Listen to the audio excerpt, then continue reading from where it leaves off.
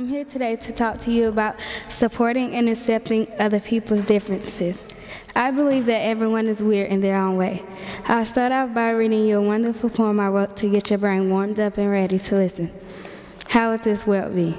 Tell me, tell me, people, tell me, how would this world be if not one single person was the same?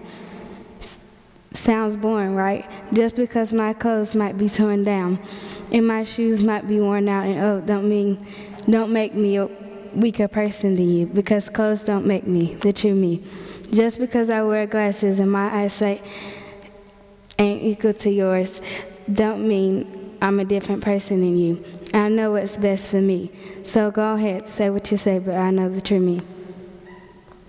Now, now if you feel comfortable, turn to someone next to you and tell them something that might be weird about you that we can't look at you and see.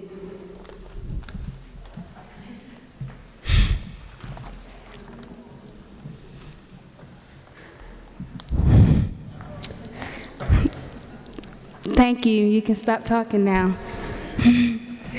I'd like to share with you some things I found out while I was exploring my topic. Have you ever been made fun of because you're different?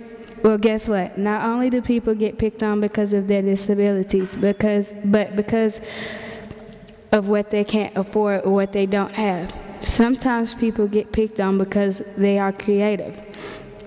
You see, different people are all around us and can change many lives.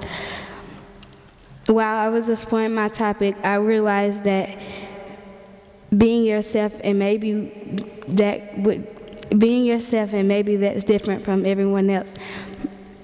You might bring up ideas that could lead to inventions that would change the world.